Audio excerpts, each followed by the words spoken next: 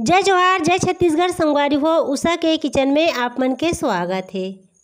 आज बनाबो मोदक। मोदक बनाए वाले हन सौ ग्राम करीब सूजी, इला रवा भी बोलथन। सौ ग्राम गुड़, एक चम्मच घी, काजू बादाम के टुकड़ा, इलायची पाउडर, नारियल किस। गैस चालू कर दे हैं कढ़ाई चढ़ा दे हैं सबसे पहले घी डालेंगे।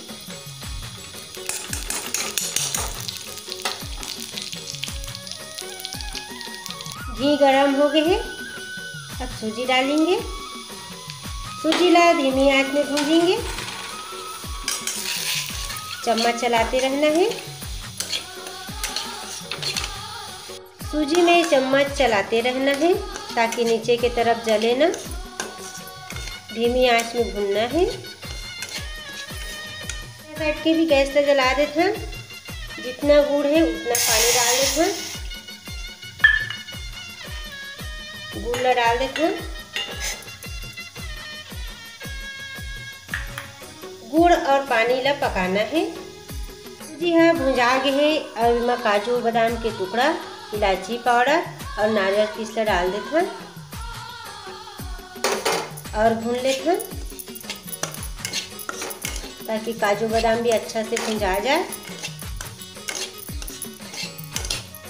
और काजू बादाम के टुकड़ा भी अच्छा से भून गए हैं। अब इमें डालबो गुड़ पानी। हम जो गुड़ पानी तैयार करे हैं बोला हम सूजी में डालेंगे। अब डाल देते हैं गुड़ पानी ला। चम्मच चलाते रहना है। अच्छा से गुड़ पानी और सूजी मिल जाए। थोड़ा देर तक पकाएँगे। चम्मच चलाते रहना है।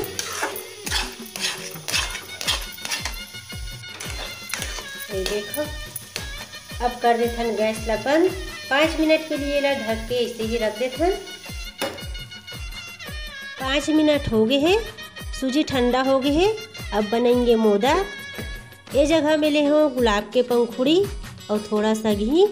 तो चलो बनाथन मोदा। हम थोड़ा से हलवा हाथ में लेंगे और मोदक के आकार देंगे। ये देखो इस टाइप से। मोदक के आकार बनाना है। देखो संगवारी हो, इस टाइप से हमला मोदक के आकार देना है। ये हमारे मोदक बन गए। अब हमें हम एक पंखुड़ी लेंगे गुलाब के।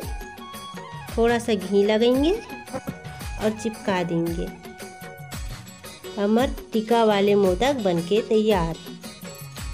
ऐसे ही हमला सब मोदक ला बना लेना है। ऐसे ही हम सब मोदक ला बना ले हैं हमार मोदक बनाए के विधि आप मला कैसे लगी संगवारी हो?